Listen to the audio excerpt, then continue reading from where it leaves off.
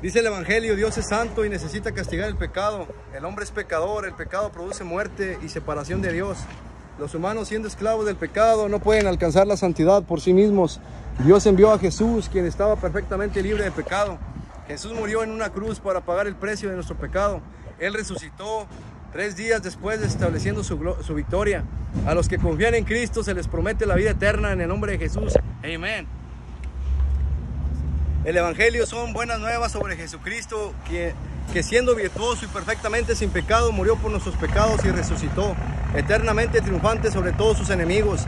De modo que ya no hay condenación para los que creen, sino solo gozo eterno. Dios nos condena por nuestros pecados, llevándonos a arrepentirnos y confesar nuestra necesidad de Él.